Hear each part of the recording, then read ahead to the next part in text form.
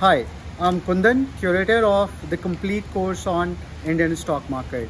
This video is about doubt clearing session. So we will have four doubt clearing session for every participant. The very first doubt clearing session will be on the very next Sunday when you have joined the course.